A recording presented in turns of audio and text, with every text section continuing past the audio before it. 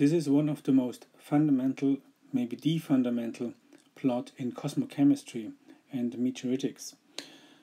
So on the y-axis there's the composition of the elements in the solar photosphere versus the composition of the elements in CI chondrites.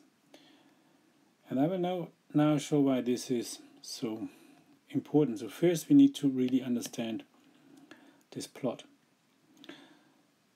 Therefore again on the y-axis there's the composition of the solar photosphere.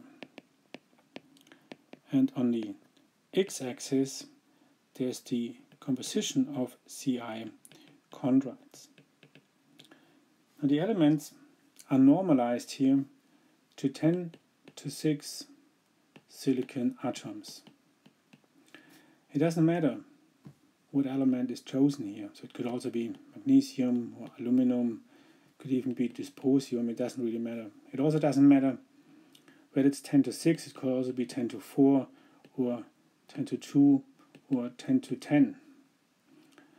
Um, so we just need to select one, which in this case is 10 to 6 silicon. Also, it's important to realize that these are atoms, so it's not weight or so, which means all the elements are divided by their, their weight, by their mass, basically. So this is something like a molar um, composition.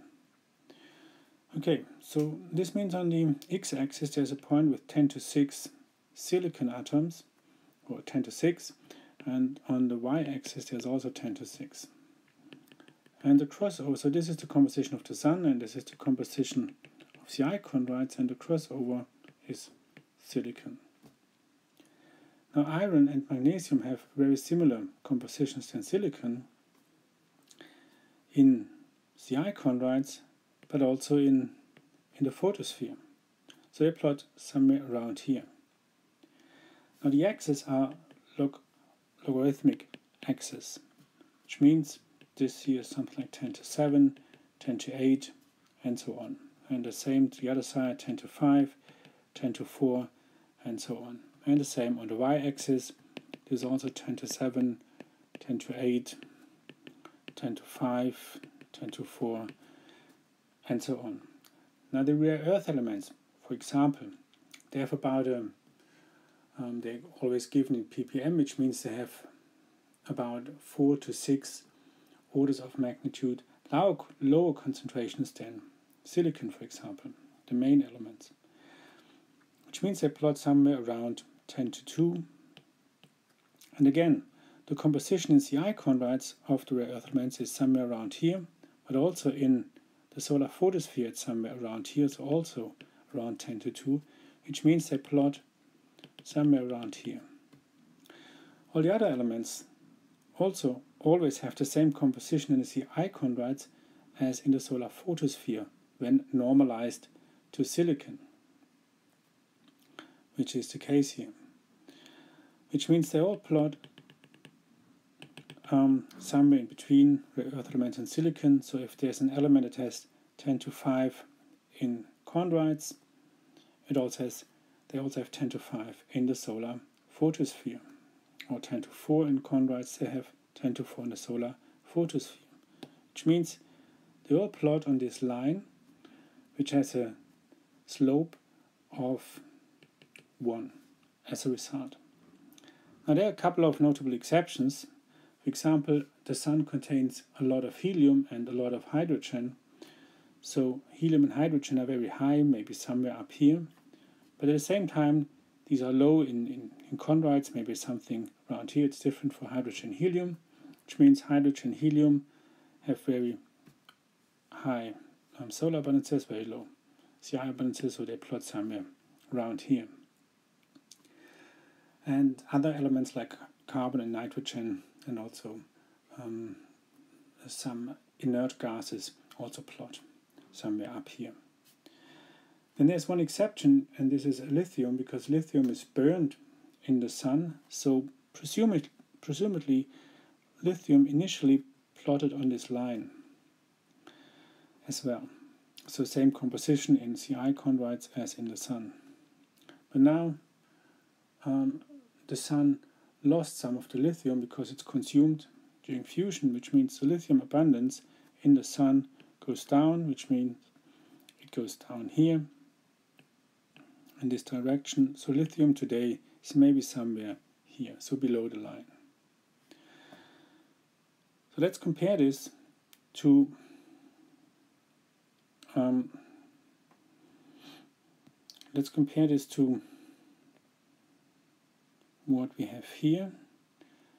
And this is pretty much the same now as it should be. So this is how this plot is constructed and how it works. On the axis again CI chondrites versus the solar composition and then there's a slope. One line on which all the elements plot except for typical elements in the sun and these kind of volatile elements.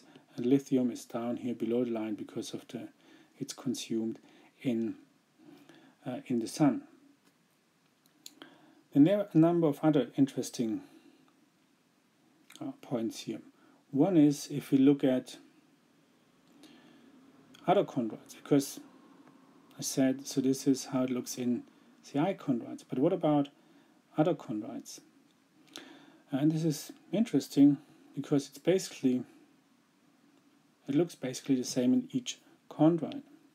So this is CI chondrites again, what uh, we just saw, and here is the slope 1 line on which most of the elements plot, except for carbon, uh, nitrogen and carbon up here. But in the CM chondrites it looks basically the same, there's also a slope 1 line, also in CV chondrites, in CO chondrites. And also if you look at um, ordinary chondrites or N-type chondrites or K and R chondrites, it's always a slope 1. And the reason for this of course is because this is a double logarithmic plot.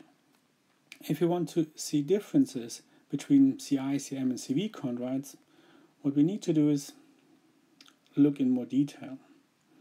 So for example, if we take this plot here and um, then we see the differences among the different meteorites. In this case now, the y-axis is normalized to CI and 10 to 6 magnesium, so it's magnesium in this case, again, doesn't matter. And then the differences become apparent, and the differences are just in the in the percent range, so not in the orders of magnitude range. And then here you can see that, for example, calcium and aluminum are enriched in, in some of the carbonaceous chondrites, and uh, something like the volatile elements, so maybe the zinc and and uh, sulfur as well as um, sodium and manganese. They are depleted in the carbonaceous chondrites and so on. But this should be sufficient for this part. Most important was to see that um, in this very this very important diagram for cosmochemistry how this works how this is constructed and what it means. And what it means is also, uh, this is very important, is that what we see from this diagram is that the composition of the solar photosphere, so the composition is similar to meteorites. Now the solar photosphere and the sun, we assume the solar photosphere is identical to the Sun. Now the Sun has more than 99.9 weight percent of the solar system, contains more than 99.9 weight percent of the solar system. So if you make the um, the analog or the equation sort of that the solar system, the composition of the solar system is identical to the Sun, is identical to the solar photosphere,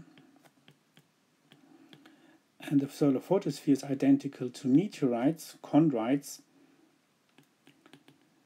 then we of course also have the equation that the solar system, the composition of the solar system, is identical to the composition of meteorites, at least of CI chondrites. And this is what is so important about this about this plot here that um, the CI chondrites here that now we have something in the laboratory that we can analyze that has the same composition as the solar system so we can by so we can with very high precision determine the composition of the solar system. And this is a conclusion from this plot here and this is why this plot here is so important and most fundamental to meteoritics